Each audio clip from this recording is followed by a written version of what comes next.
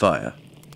Every year, more than 40,000 accidental house fires in England result in the deaths of 285 people and 9,000 injuries.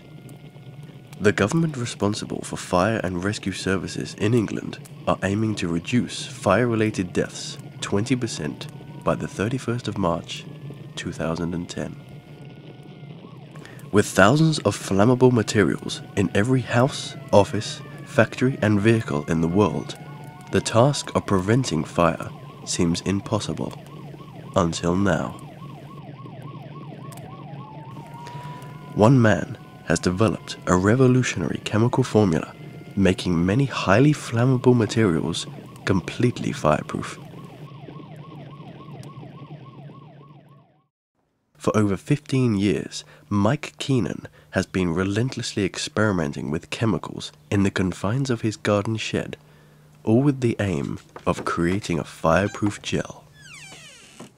The gel he formulated can be applied to materials or layered as a coating to hundreds of products.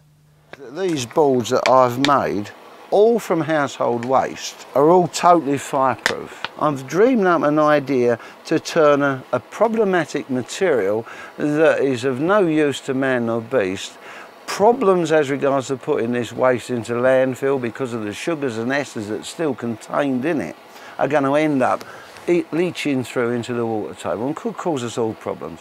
With my idea, that won't happen. Now that is at 1000 degrees centigrade on that product, but it's made from rubbish.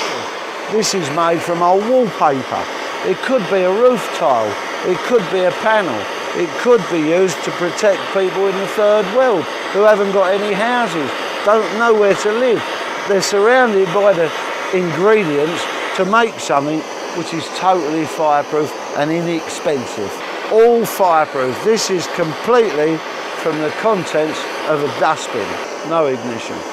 To me, this is not only commercially viable, it's a product that could save many people's lives, it's strong and it's effective. Mike's determination and fascination with creating fireproof gels earned him the Best Inventor and Invention of the Year Award 2004.